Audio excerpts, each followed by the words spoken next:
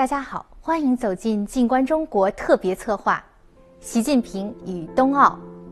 这是一幅苏绣仕女蹴鞠图，它既刻画出中国古代仕女们在花园里尽情蹴鞠的优美身姿，也成为中国古代足球运动的真实写照。在北京成功申办冬奥会后，习近平主席于2017年访问瑞士洛桑的国际奥委会总部，并代表中国将这幅苏绣赠送给国际奥委会。在拥有上万件展品的国际奥林匹克博物馆里，这份特别的国礼成为中外文明交流相知的缩影，又与奥林匹克精神相互映照。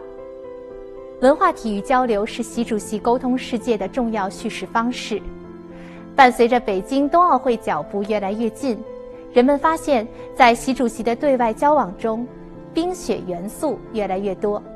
二零一七年，习近平主席访问芬兰，在芬兰总统尼尼斯托举行的欢迎宴会上，习主席获赠中芬两国冰雪运动员送上的运动衣。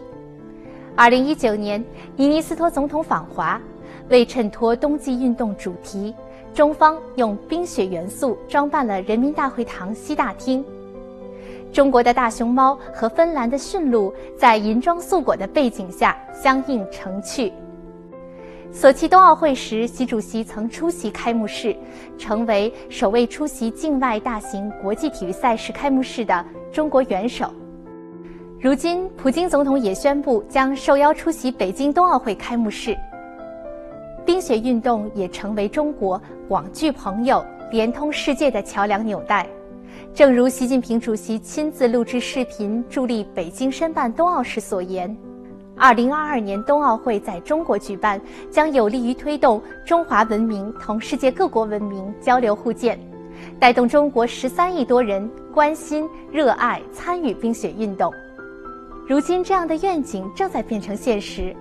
家门口的滑雪场。身边的志愿者、孩子们的滑冰课，勾勒出中国百姓日常生活的生动图景，更立体的中国形象在世界得到呈现。